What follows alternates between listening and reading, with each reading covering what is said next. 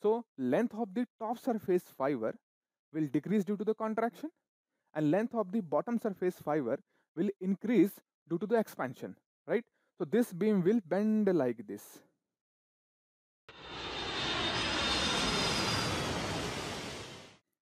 Sometimes two or more concepts are combined in one question. For example, there is one concept regarding buckling of the column and there is another concept about thermal stress. So we can combine both. So in GATE 2014, they have asked one question in which they are asking to find out rise in temperature required to buckle the column, right? In a similar way, we can combine bending with thermal effect, right? In bending chapter, we found deflection due to applied load and moment. Here we have to find out the relationship between the bending and thermal effect, right? So let's say we have beam like this and it's kept at uniform temperature T, right? Now let's say the top surface temperature is decreased from T to T1 and bottom surface temperature is increased from T to T2, right? So length of the top surface fiber will decrease due to the contraction and length of the bottom surface fiber will increase due to the expansion, right? So this beam will bend like this, right? So let's see. Let's say we have beam which is simply supported, right? So let's say this is length L. Height of the beam is H. Let's take one small element of length dx right? Initially it's kept at uniform temperature T T correct? So nothing was happening. Now let's say its temperature got changed. Here T1 here T2 so obviously T2 is more than T1 right so what will happen in that case? This will bend and this is bend position. Right? So this element dx will be like this now. Right? So this is the length of bottom fiber and this is the length of top fiber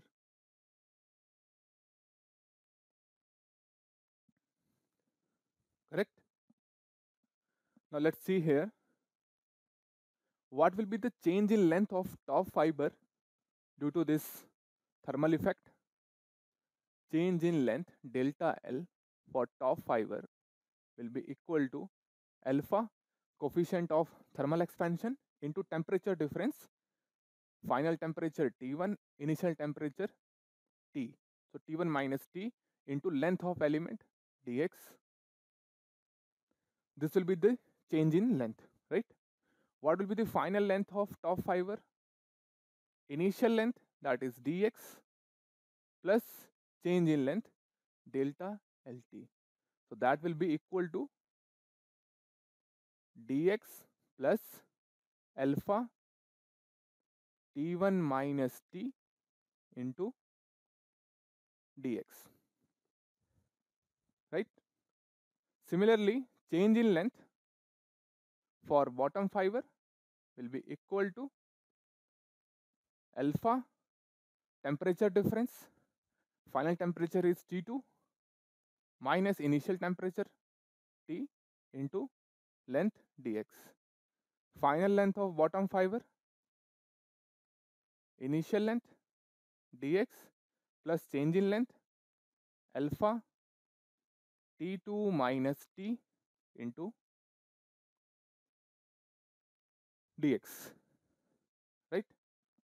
What will be the difference of length between top and bottom fiber? Difference. This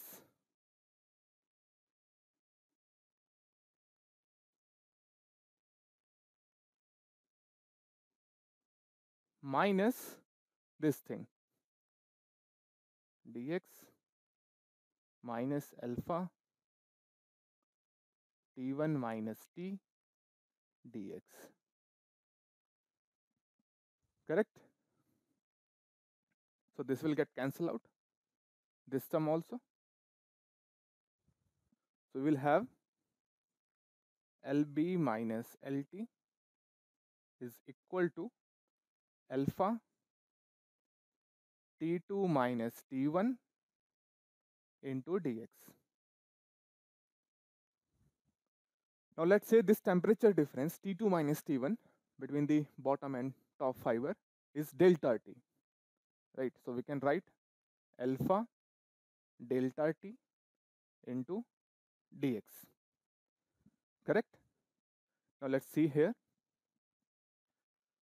Let's extend this.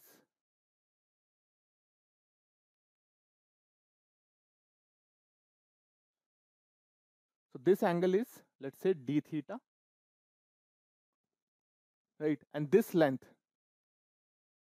is let's say k. What about this length? It is h height of the beam right? So from here what will be the lt length of top fiber k into d theta k into d theta. What will be the length of bottom fiber k plus h into d theta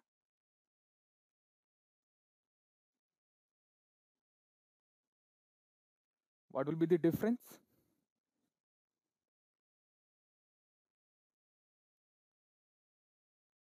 K plus h d theta minus k d theta that is equal to h d theta. Right? So we can substitute this here. So let's substitute that is h d theta is equal to alpha delta t dx. So from here d theta by dx will be equal to alpha delta t by h right?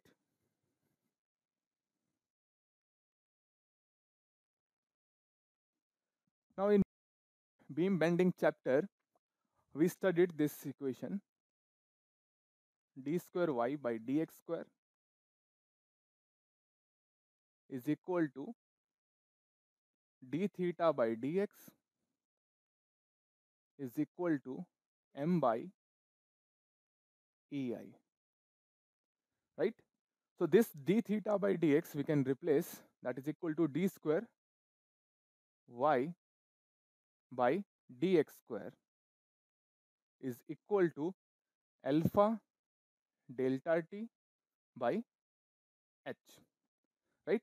Because theta is equal to dy by dx. If i substitute in place of theta dy by dx it will become d square y by dx square right?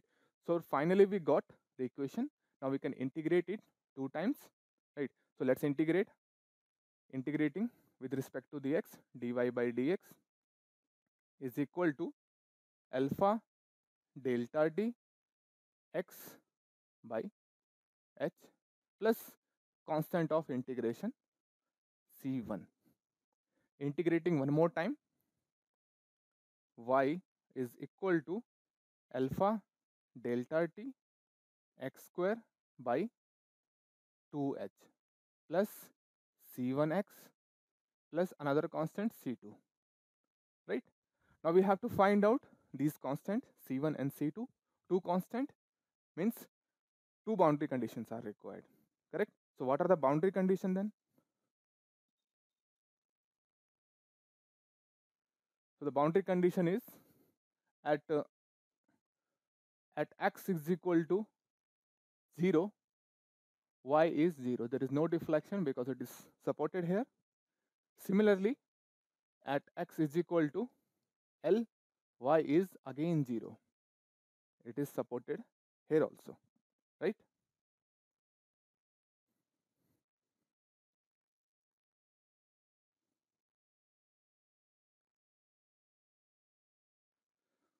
so let's substitute at x is equal to 0 y is equal to 0 so 0 is equal to this will be 0 plus 0 plus C2. So C2 is 0 now. So we have y is equal to alpha delta t x square by 2h plus c1x because c2 is 0. One more boundary condition at x is equal to L y is again 0. So y is 0 is equal to alpha delta t x is equal to L so L square by 2h plus C1 L. So this will be C1 L is equal to minus alpha delta t L square by 2h. This will get cancel out. So we'll get C1 is equal to minus alpha delta t L by 2h. Correct? So what will be the final equation? y is equal to alpha delta t x square by 2h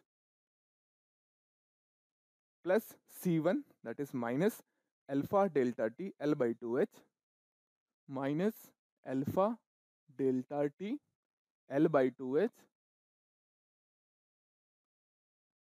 into x. So this is our final equation. So by using this equation, we can find out deflection y at any point by just putting the value of x, right? Now let's say we are interested in finding out the deflection value at midpoint at x is equal L by right so let's put at x is equal to L by 2 y is equal to alpha delta t L square by 8h minus alpha delta t L square by 4h. So finally we got y is equal to alpha delta t L square by 8h minus. So this we can remember for gate exam that at midpoint deflection value will be equal to this at L by 2 right? And if we want to find out deflection value at any other point we can just substitute the value of x in this equation and we can find out value of y at any point along the beam. Right? So this is the relationship between deflection and this thermal effect